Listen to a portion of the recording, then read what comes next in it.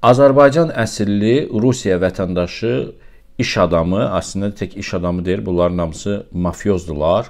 Çünki Rusiya kimi, Azərbaycan kimi ölkələrdə böyük milyardlar pullar yığmaq üçün gərək mafiya işi görəsən həmçində ki, onun bunun haqqını yeyəsən və yuxarılara haqq hesab ötürəsən və kimlərinsə bizneslərini idarə edəsən. Qod Nisanovdan söhbət gedir. Qod Nisanov İlham Əliyevin xüsusilə Rusiyada olan qara işlərini həyata keçirir və bizneslərini də idarə edir. Özünün də təbii ki, biznesləri var və həmçinin qara işlərini və killer işlərini həyata keçirir.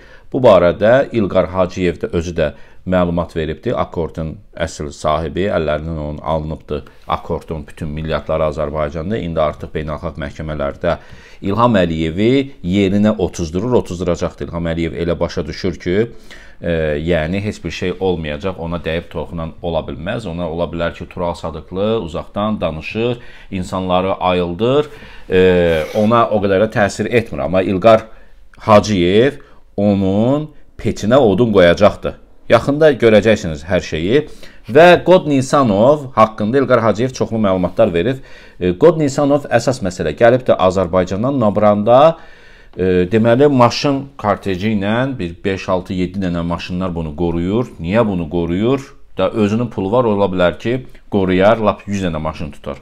Məsələ odur ki, Azərbaycan polisi Azərbaycan vətəndaşının vergisi ilə büdcəsi ilə, Azərbaycanın büdcəsi ilə maliyyələşən Azərbaycan polisi niyə onu qoruyur? Maşın kortejinin əvvəlində, sonra da arxasında indi videonu görürsünüz siz, görəcəksiniz. E, onu qoruyur. Niyə? Çünki İlham Əliyevin bizneslərini idarə edən Qod Nisanovdur Rusiyada. Onun üçün İlham Əliyev üçün önəmli şəxsdir və dövlətin polisini də verir Qod Nisanova. O bir iş adamıdsa, sıradan bir iş adamıdsa, Azərbaycan polisi onu niyə qorumalıdır ki, hələ də Azərbaycanda. Həm mən bilirəm ki, Qod Nisanov Azərbaycan xalqının o qədər vətəndaşının evini yıxıb ki, burada indi şəhərlərdə bəzən İlham Əliyev trollarını göndərir, nə bilim Qod Nisanov trollarını göndərir ki, ay o iş adamıdır, xeyirxahdır, nə bilim büdcəyə pul yatırıbdı, nə bilim e, orduya pul yatırıbdı. Yalansa onun gözünə girsin. Heç birində yatırmır yatırmır. Sadəcə olaraq xalqa elə göstərirlər, xəbəri yayırlar, özlərinin 5-10 manat verib o saxta cib jurnalistlərinə verirlər, o saytlarında reklam edirlər, Instagramda və s. Azərbaycan xalqının pullarını yeyən adamlardılar. Videolarımızı vaxtında izləmək istəyirsinizsə, YouTube kanalımıza abunə olun.